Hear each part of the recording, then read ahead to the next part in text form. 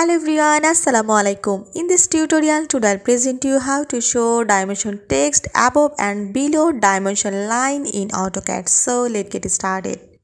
Firstly, I create a line. Go here in this line and now specify the first point and now create this line and then you have to go here in this dimension and make this line dimension.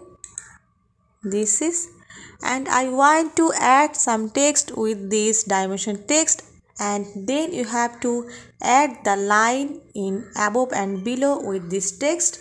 So now you have to double click on this text.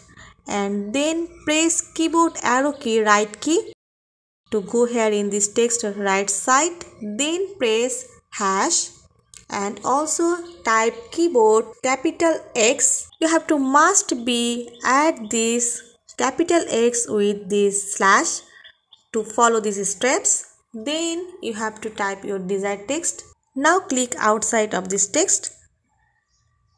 If you have to add this dimension line is continuous and also this text is above and below on this line. So go here in this dimension. So d for dimension style and then go to modify go to text and then you have to text placement change in vertical is to be above and text alignment is to be changed is ISO standard.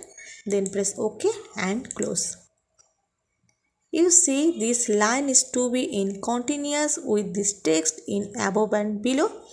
So in this way you have to add dimension text above and below with this dimension line. I hope you enjoyed this video. Thanks for watching and don't forget to subscribe my channel. Thank you.